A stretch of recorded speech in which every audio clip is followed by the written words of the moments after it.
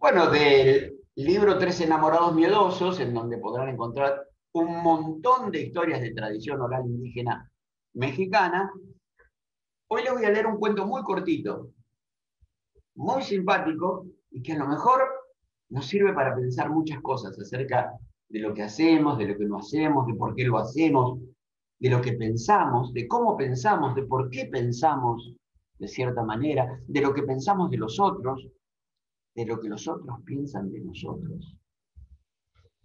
Y este es un cuento de tradición oral otomí, que es un grupo que vive en el estado de Hidalgo, creo que también en parte del estado de México.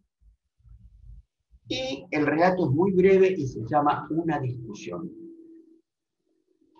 Hacía mucho frío. Se encontraron en el campo un otomí y un gringo. El otomí tenía la ropa de manta agujereada y estaba como si nada. El gringo iba muy abrigado y aún así tenía frío. ¿No tiene frío con esa ropa? Preguntó el gringo. No. ¿Tú sí? Claro, por eso me abrigo.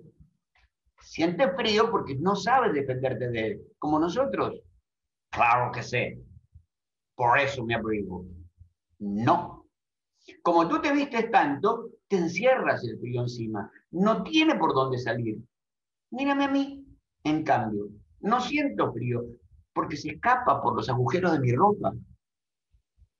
Otro día, el gringo invitó a comer al otomí. Llegó a su casa. Veía todo con gran interés.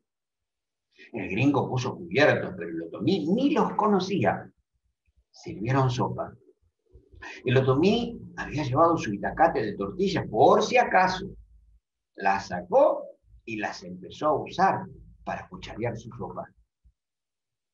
No seas sucio, dijo el gringo. Usa la cuchara como yo.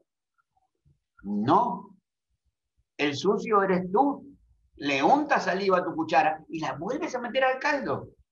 Nosotros tenemos cuchara para cada bocado.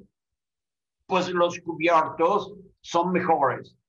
A ver, cómetelos como yo. Esa es la historia que les quería contar hoy. Chao.